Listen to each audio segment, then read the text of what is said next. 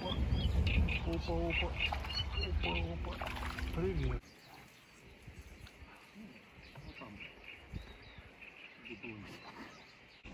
Вот это счастье. Поплавочки у Юрки уже клюет. Класс. Ну, начинаем сразу. Ну так. Туда и бросай. Это подойдет.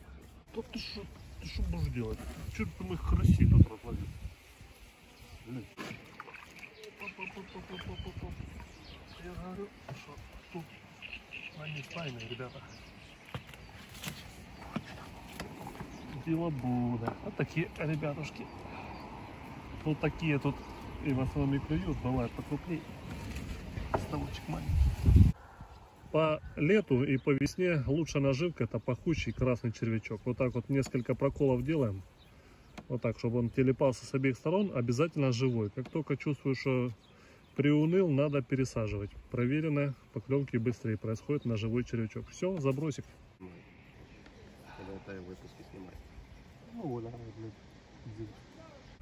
Опа, опа. Опа, опа. Привет.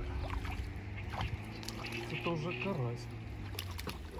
Это уже Юра, давай. Это уже спасибо. Вот такой, ребята. Больше моей ладошки почти на хвост. А?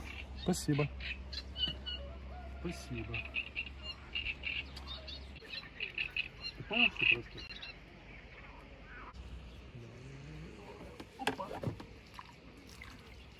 Так себе обозначение.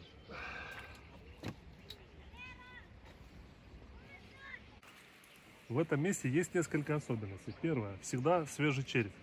Э, Клюет хорошо либо на навозного червя, либо на бутербродик, опарыш червь.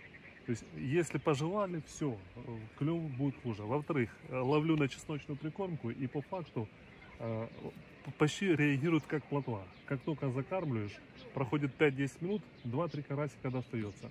После того, как э, прикормку съели, уже по сути рыба отходит и клевать не хочет. То есть он прям такой, очень активно реагирует на закорм.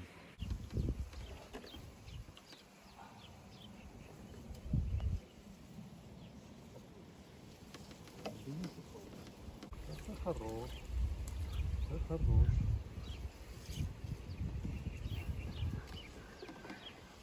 Вот она, вот она, вот она, де, бачиш, стая карасика подошла. Вот такая, раз, карасямбик. Вот такой уловчик, ребят, были и больше ладошки карасики, были разные, но ставочек небольшой, поэтому в основном не крупненькие.